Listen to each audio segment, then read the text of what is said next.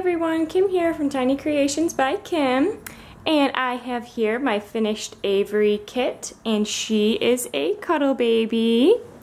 She is all finished, and she is going to be up for adoption. Um, if you're interested, the links will be below in the description. So here she is. She's super cute. She's got some thick brown hair. I'm gonna put her little bow on. I think this color, this like magenta pink color is so pretty on her. I can get it on her head. Let me put you guys down for a second. It's so pretty, this dark color with her dark hair. There we go. Okay, and here she is. Whoop, let that focus. There it goes.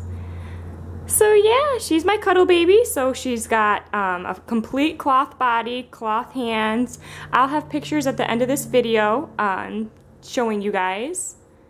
So if you're interested in what that is, if you don't know what a cuddle baby is, I will have pictures of that and pictures of her little photo shoot I did. She's filled um, in her body and in her head with fine glass beads and polyfill.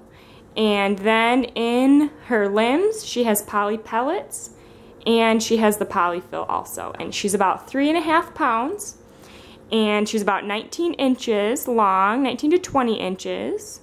So yeah, thank you guys so much for watching. And again, if you're interested, um, please check the description below for, for all of her links where you can view more pictures. All right, you guys, God bless. I hope you have a wonderful day.